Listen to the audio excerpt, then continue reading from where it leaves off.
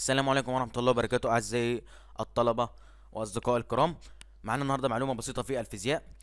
وما معنى أن كثافة الفيض المغناطيسي عند نقطة تساوي 2 نيوتن على أمبير في المتر؟ قدامنا القانون F بتساوي L I B sine theta حيث ال اي بي ساين سيتا حيث السيتا بتساوي 90 إذا ال sine theta بتساوي واحد إذا القوة قيمة عظمى F آه، بتساوي L I B يبقى معنى ذلك أنه إذا وضع سلك عموديا على ذلك الفيض السلك السلك عمودي اللي هي الزاوية بتساوي آه، سيتا بتساوي 90 قيمة عظمى خلي بالك. القوة عندها تكون قيمة عظمى. على ذلك الفض عند تلك النقطة ويمر به تيار كهربي شدته واحد أمبير.